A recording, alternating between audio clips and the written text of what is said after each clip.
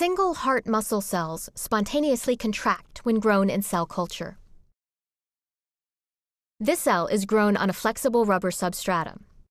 Each time the cell contracts, it pulls on the substratum, which becomes wrinkled.